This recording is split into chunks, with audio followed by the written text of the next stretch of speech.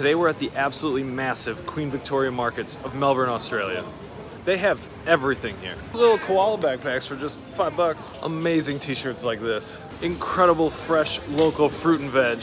Even avocados for a dollar. Fresh cooked mussels, borek, fried chicken, cheese, just ah, everything you could want. It's such a lively place. There's so much going on, so many people here, so much money changing hands. It's just exciting to be here. It really does feel like it goes on forever. There's even more across the street outside of the sort of main market area. These fresh donuts smell so good. You. Oh my god, they're hot and squishy.